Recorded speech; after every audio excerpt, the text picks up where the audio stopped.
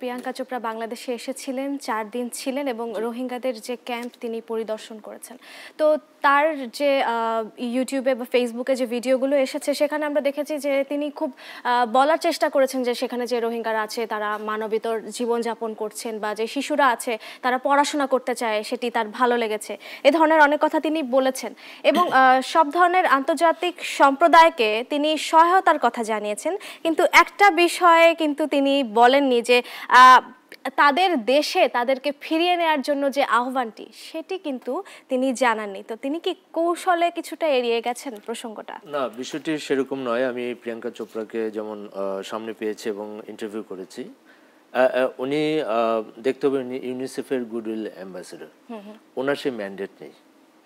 রিপাট্রিয়েশনের কথা বলার এবং এখানে যিনি ইউনিসেফের রিপ্রেজেন্টেটিভ আছেন ওনাকে আমরা এই প্রশ্নটি করেছিলাম। উনি কিন্তু জবাব দিয়েছেন যে আমাদের কাজ মানবিক সাহায্য দেওয়া ইউএন এর জাতিসংঘের আরও অন্যান্য অনেকগুলো সংগঠন আছে যারা ওটা নিয়ে কাজ করছে। সো আমাদের যে ফোকাস শিশুরা এবং মায়েরা সেই জায়গাটায় আমরা কাজ করছি এবং তাদেরকে মানবিক সাহায্যটা যেন চলমান থাকে এবং তারা যেন রোগ, শোক এবং মৃত্যু না ঘটে এবং তাদের যে বেসিক যে, একদম বেসিক যে নিরাপত্তা তার যে খাবার তার যে পুষ্টির যে অধিকার পুষ্টি পাওয়ার যে অধিকার সেই জায়গাগুলোতে যেন আমাদের কোনো রকমের কোনো ঘাটতি হয় ঘাটতি না হয়। এবং প্রিয়াঙ্কা চোপড়াকে কিন্তু আমরা এই প্রশ্ন করেছিলাম। আমি যখন আমার সাথে যখন এক্সক্লুসিভলি ইন্টারভিউ দিয়েছে তখনও ওনাকে আমি জিজ্ঞেস করেছিলাম যে এই পলিটিক্যাল যে উনি কিন্তু রেকগনাইজ করেছেন this is a political crisis কিন্তু সেটা রেকগনাইজ করার পরেও কিন্তু ওনার সেই বলার আসলে ম্যান্ডেটটি নেই। কারণ উনি পলিটিক্যাল উনি ফান করে বলেছেন আমাদের প্রেস কনফারেন্সে যে আমি আমি যখন প্রাইম মিনিস্টার হব ইন্ডিয়ার, তখন আমি ইন্ডিয়া কেন এটা কি ভূমিকা রাখছে সেটি নিয়ে কথা বলব। বাট আমি এই পজিশনে সেটি নিয়ে কথা বলতে পারি না। তো যার জন্য হয়েছে বিষয়টা ওরকম নয়। প্রিয়াঙ্কা চোপড়া কেন এসেছিলেন বা ওনার রোলটা কি সেটা আমাদের প্রথমত বুঝতে হবে। এই বাচ্চাদেরকে বাঁচিয়ে রাখার জন্য, তাদেরকে বেসিক সাপোর্ট দেওয়ার জন্য, তাদেরকে নিরাপত্তা দেওয়ার জন্য, তাদের সামান্য পড়াশোনার ব্যবস্থা করার জন্য একটা মোটামুটি আনন্দ ঘন অবস্থা রাখার জন্য। কারণ আপনি জানেন যে অনেক বাচ্চা তারা দেখেছে যে বোমা মেরেছে, তাদের বাবা মাকে হত্যা করেছে, ধর্ষণ করেছে, বাড়িঘর জ্বালিয়ে দিচ্ছে তাদের কিন্তু একটা মানসিক ট্রমার মধ্যে থাকে। তো আছে অনেকেই, অনেক বাচ্চা এবং অনেক বাচ্চা এসছে কোনো বাবা বা মা ছাড়া। তো সেই সব বাচ্চাদের যে মানসিক অবস্থা, সেই জায়গাতে তাদেরকে সরিয়ে আনার জন্য যেসব পদক্ষেপ ইউনিসেফ নিয়েছে, সেটা খুবই প্রশংসার যোগ্য কিন্তু সেই সেই অবস্থায় এদেরকে সাপোর্ট দেওয়ার জন্য প্রচুর টাকার দরকার। প্রিয়াঙ্কা চোপড়ার যে রোল সেটা হচ্ছে ইউনিসেফ যত টাকা তার প্রয়োজন, তত টাকা কিন্তু সবসময় পায় না।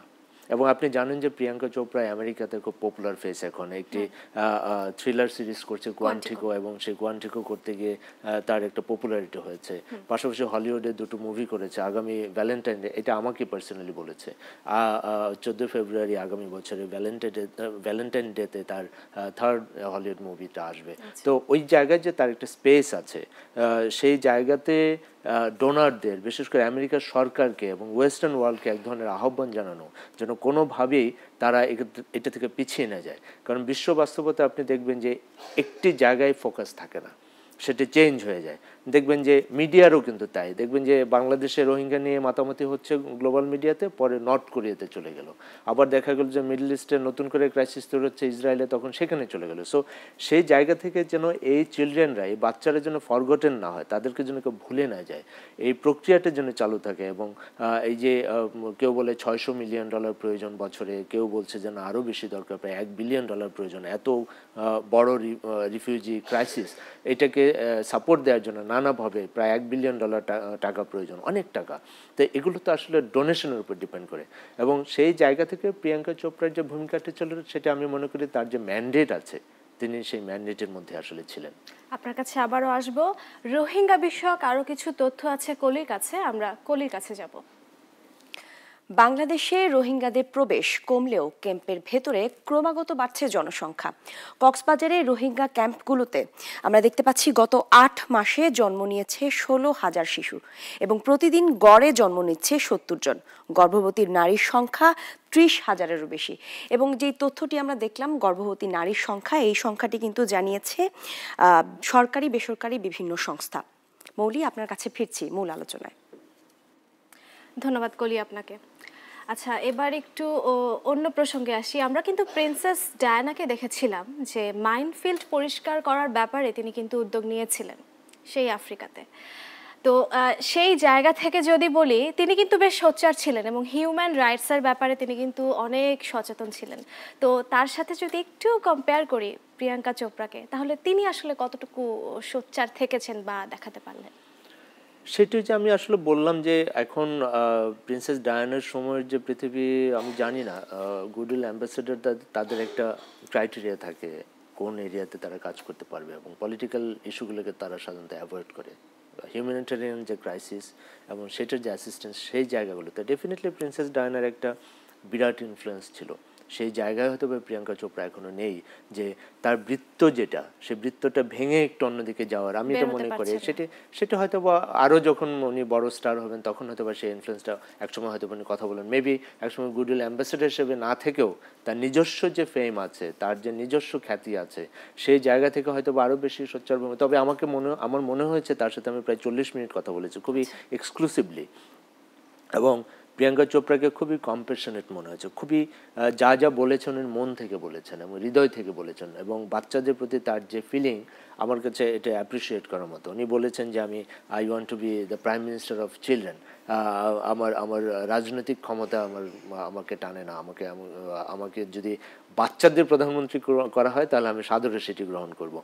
আপনি জানেন যে, উনি সিরিয়াতে গেছেন, সেখানে বাচ্চাদের সাথে কথা বলেছেন। এটা এটা আসলে এক ধরনের এই- এই ইস্যুটাকে জিয়ে রাখার জন্য, যাতে কেউ ভুলে না যায়। ওয়েস্টার্ন ওয়ার্ল্ডের সহযোগিতা ছাড়া, জাতিসংঘের অন্যান্য জায়গায় সহযোগিতা ছাড়া এই পলিটিক্যাল যে ক্রাইসিস সেটি নিয়ে কিন্তু অন্যরা কাজ করছে। ইউএনএসসিআর কাজ করছে, বাংলাদেশের সাথে তারা চুক্তি করেছে মিয়ানমারের সাথে সেখানে পেনিট্রেট করার চেষ্টা করছে। সহজ না কাজটা। রিপাট্রিয়েশন নিয়ে অনেক জটিলতা, সেটি আদৌ হবে কিনা, কতটুকু হবে, সেটি আমার মনে হয় যে আপনি জানেন যে মাননীয় প্রধানমন্ত্রী বলেছেন যে এক লাখ এক লাখ রোহিঙ্গাকে ভাষাঞ্চলে স্থানান্তর করা হবে। এগুলো কিছু কিছু ইন্ডিকেশন আছে। পাশাপাশি মিয়ানমার যেসব ভেরিফিকেশন ভেরিফিকেশনের যেসব ক্রাইটেরিয়া তৈরি করেছে, সেটা খুবই কম কমপ্লিকেটেড এবং সেই কমপ্লিকেশনের কারণে যেটি হচ্ছে যে, এটি বাস্তবায়ন করা খুব কঠিন। তো সেই জায়গা থেকে হিউম্যানিটেরিয়ান ক্রাইসিসটাকে জিয়ে রাখা এবং ক্রাইসিসটাকে জিয়ে রাখা না, এটাকে হ্যান্ডেল করা এবং সাপোর্টটাকে জিয়ে রাখা যেন এটা চলমান থাকে, সেই কাজটি কিন্তু অত্যন্ত গুরুত্বপূর্ণ। প্রিয়াঙ্কা চোপড়া একটি অত্যন্ত গুরুত্বপূর্ণ কথা বলেছেন যে ডোন্ট ডিভাইড চিলড্রেন বাচ্চাদেরকে রোহিঙ্গা, না হিন্দু, না মুসলমান, কালো, না সাদা বার্মা থেকে আসছে, না আমেরিকা থেকে আসছে, এইভাবে তোমরা বিভাগ, বিভাজন করো না।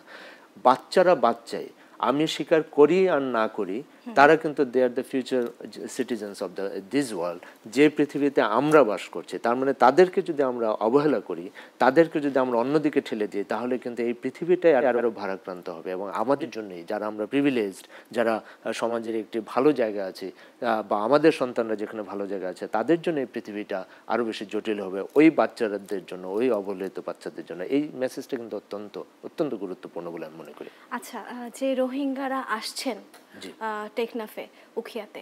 এই যে তারা আসার পরে আমরা কিন্তু তাদেরকে পর্যাপ্ত স্যানিটেশন বা জীবন ধারণের জন্য অন্যান্য যে সুযোগ সুবিধাগুলো, সেগুলো কিন্তু আমরাও খুব একটা তাদেরকে দিতে পারছি না। এবং আমাদের বাংলাদেশের প্রেক্ষাপটে যদি বলি, আমরাও কিন্তু উন্নয়নশীল একটি রাষ্ট্র। তো এই যে লক্ষ লক্ষ রোহিঙ্গারা আসছেন, এদের যে দায়ভার, সেটি কারা নেবে? এটি একটি আসলে খুব কমপ্লিকেটেড বিষয়, খুবই জটিল প্রশ্ন। কারণ এই দায় আসলে পৃথিবীর দায়। কারণ আপনি দেখবেন যে বিভিন্ন জায়গায়, বিভিন্ন অঞ্চলে যেসব ক্রাইসিস চলছে, যেসব ফাইট চলছে বা কনফ্লিক্ট চলছে, সেই জায়গাগুলোতে তো কোনো না কোনো কারণে অবহেলা বঞ্চনা বা বিশ্ব সেখানে ফোকাস করেনি, তারা পিছিয়ে আছে, তাদের মনে কষ্ট আছে, জাতি হিসেবে তাদের যে প্রাপ্য অধিকার, সেটা থেকে তারা বঞ্চিত। সেখান থেকে কিন্তু ক্ষোভগুলো তৈরি হয়। মিয়ানমারে দীর্ঘদিন ধরে এই রোহিঙ্গাদের নিষ্পেষিত। তারা ইভেন নিজের গ্রাম থেকে আর পাশের গ্রামে যেতে পারতো না মেয়েদের বিয়ে দিতে পারতো না তাদের কোনো নিরাপত্তা নেই কোনো কিছুই নেই। তাদের বেসিক কোনো বেসিক যেসব রাইট আছে সেই সেগুলো প্র্যাকটিস করার সুযোগ তার মানে কি এটি কি পাশে চায়না একটা বড় দেশ সে পৃথিবীর দ্বিতীয় বৃহত্তম অর্থনৈতিক শক্তি এবং বিরাট শক্তি তার রাজনৈতিক শক্তি সামরিক শক্তি তার ভূমিকা আছে। ইন্ডিয়া আমাদের রিজনে একটি পাওয়ার তার ভূমিকা আছে। আমেরিকা বিশ্ব মোড়ল তার ভূমিকা আছে। ইউরোপিয়ান ইউনিয়ন তার তার ভূমিকা আছে। জাতিসংঘের ভূমিকা আছে। বাংলাদেশ যেটি দেখিয়েছে, আমি বিশ্বাস করি, বিশেষ করে মাননীয় প্রধানমন্ত্রী যে সাহস দেখিয়েছেন, আমি দীর্ঘদিন ধরে রোহিঙ্গা কভার করি, প্রায় পনেরো বছর ধরে। এবং এই যে ক্রাইসিস আমি দুই হাজার বারোতে ক্রাইসিস দেখেছি পরবর্তীতে ক্রাইসিস দেখেছে, এখন যে নতুন ক্রাইসিস শুরু হয়েছে গত বছর অগাস্ট থেকে, এত বড় মানবিক বিপর্যয়, মাননীয় প্রধানমন্ত্রী যে সাহসটা দেখিয়েছেন, এটিকে দলমত নির্বিশেষে আমি মনে করি যে এটা এটা আমাদের মানতে হবে যে এই সাহস দেখানোর জন্য সাহস লাগে। এবং সাহস তো আমরা দেখিয়েছি কিন্তু এরপর ভবিষ্যৎটা আসলে কি? ভবিষ্যতে তো ক্যাম্পে কিন্তু অনেক শিশুর জন্ম হচ্ছে ভালো স্যানিটেশনের ব্যবস্থা সেখানে নেই তারা বিভিন্ন রোগে আক্রান্ত হচ্ছে এবং ঝড় বৃষ্টি বর্ষা বাদল হলে কিন্তু রোগ কিন্তু বাড়ছে। এখন আমাদের এই জন্যই কিন্তু এই আহ্বানগুলো সারা পৃথিবীকে এই জায়গায় নজরটা রাখতে হবে। তা নাহলে এতগুলো মানুষ তারা মানুষ তো। এই এতগুলো মানুষ, এই যে বাচ্চা, আপনি বলছেন যে ইউনিসেফ বলছে প্রতিদিন ষাট জন বাচ্চা। সেভ দ্য চিলড্রেনের আরেকটি ইয়ে ছিল যে প্রায় এক লক্ষ বাচ্চার জন্ম হবে এই বছর, দুই হাজার আঠারোতে। হিউজ প্রায় বা এগারো লাখ প্লাস জরিপে এসছে যে এখানে রোহিঙ্গা আছে। তার মধ্যে এবার সাত লাখ বা তা মোর দেন দ্যাট তারা যারা এসছে, তার প্রায় সিক্সটি পার্সেন্ট হচ্ছে বাচ্চা। ইউনিসেফ বলছে যে প্রায় চার লক্ষ হচ্ছে বাচ্চা। তো এটা একটা বিরাট ক্রাইসিস এই ক্রাইসিসটাকে ডেফিনেটলি আমাদের সে সামর্থ্য নেই। সেই জন্যই মাননীয় প্রধানমন্ত্রী যেখানে যাচ্ছেন, এটাকে প্রায়োরিটি দিচ্ছেন যে তোমরা সবাই সহযোগিতা করো। সেই জায়গা থেকে আমার মনে হয় যে, এটা একটা মানবিক বিপর্যয়। মানুষগুলোকে আমাদের তো বাঁচাতে হবে। মানুষ তো সমুদ্রে ফেলে দেওয়া যাবে না। মানুষকে তো গুলি করে মেরে ফেলা যাবে না। তাদেরকে তো আহ, পুড়িয়েই মেরে ফেলা যায়। এটা তো মানবিকতা কিন্তু তাদেরকে আশ্রয় দিয়েছি। কিন্তু রোহিঙ্গা যারা আছেন তারা কিন্তু বলছেন তারা আবারও রাখাইনে ফিরে যেতে চান। সেখানেই তারা সুখে শান্তিতে জীবন যাপন করতে চান। অর্থাৎ তাদের নিজ দেশটাই কিন্তু তাদের কাছে বেশি প্রিয়। তো আহ, আমরা কি রাজনৈতিক সমাধান করতে ব্যর্থ হয়েছি বলে আপনি মনে করেন? আমরা কিন্তু অনেক রাষ্ট্রের সাথে কথা বলেছি সাহায্য চেয়েছি। না, রাজনৈতিক সমাধান এটি কিন্তু বাংলাদেশের একার পক্ষে সম্ভব নয়। আপনি খুব সহজ করে যদি বলি, আপনি মিয়ানমার এবং বাংলাদেশের সাথে একটি চুক্তি হয়েছে, আপনি জানেন নভেম্বরে রিপাট্রিয়েশন স্টার্ট করার জন্য, জানুয়ারি থেকে। কিন্তু সেটি কার্যকর হচ্ছে না। এই চুক্তিটি কিন্তু আমি যদ্দূর বুঝতে পেরেছি, বাংলাদেশ করতে চায়নি। কিন্তু আমার যে রাষ্ট্র হিসেবে সক্ষমতা, সেটাও বুঝতে হবে। এটা চায়নার প্রেশারে করেছে, এক কথায়। পাশাপাশি হয়েছে যে এখানে জাতিসংঘের একটি ডিপ্লোম্যাটিক ভূমিকা আছে। জাতিসংঘে চাইলেই আপনি দেখবেন যে পাঁচটি স্থায়ী সদস্য নিরাপত্তা পরিষদে আসলো, আমি সেটা কভার করেছি, আমার বোঝার চেষ্টা করেছি তাদের ভূমিকাটা কি হয়। আপনি দেখেন যে এগুলো বাদ দেন। জাতিগতভাবে বা ধর্মীয়ভাবে তারা মুসলমান, তাদেরকে নিয়ে সৌদি আরব কথা বলে না। কেন কথা বলে না? তার প্রেক্ষাপট আছে। কারণ মিয়ানমার অত্যন্ত গুরুত্বপূর্ণ দেশ, অর্থনৈতিকভাবে খুবই গুরুত্বপূর্ণ দেশ।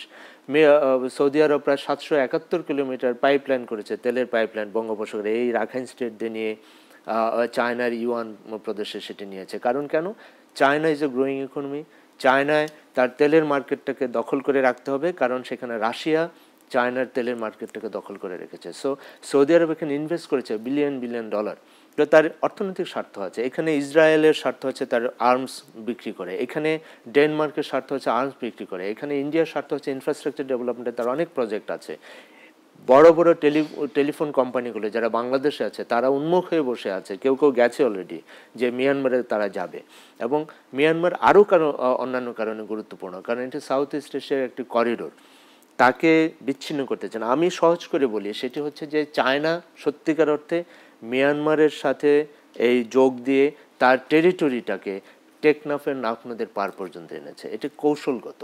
এটা কৌশলগত, তার যে আধিপত্য, তার যে অগ্র, অর্থনৈতিক এবং সামরিক অগ্রযাত্রার যে তার যে অ্যাম্বিশন সেই জায়গাটাকে বাড়িয়ে সে চায়না এই নাফ নদীর পার পর্যন্ত নিয়ে আসলো। এই জিনিসগুলো আমাকে বুঝতে হবে। তার যার আমরা কি চায়নাকে অ্যাভয়েড করতে পারি? আমার বাংলাদেশের প্রত্যেকটা বড় বড় ইনফ্রাস্ট্রাকচার প্রকল্পের সাথে চায়না পদ্মা ব্রিজের সাথে চায়না জড়িত হাইওয়ের সাথে। তো সেই জায়গায় আমি একটু শেষ করে দিই। সেটা হচ্ছে যে সেই জায়গা থেকে যদি আমরা দেখি তাহলে এটি কাজটি অত্যন্ত কমপ্লিকেটেড খুবই কমপ্লিকেটেড সহজ না। সো বিশ্বকে ইগনোর করে তো আমি সেই জায়গায় বাংলাদেশে সে সামর্থ্য নেই। তবে মানবিক জায়গা থেকে বাংলাদেশ যে কাজটি করেছে যে রাষ্ট্র এটি বিশ্বের ইতিহাসে একটি উদাহরণ হয়ে থাকবে বলে মনে করি। জুলহাস আপনাকে অসংখ্য ধন্যবাদ আমাদের সাথে যুক্ত হওয়ার জন্য।